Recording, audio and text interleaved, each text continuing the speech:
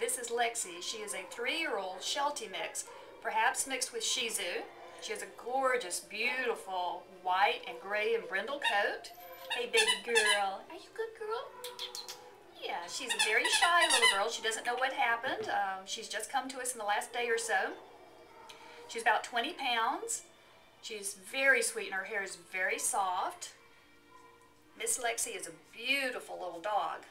She's been easy to come along in the pens with everybody else. Please come see Lexie at Atlanta Pet Rescue.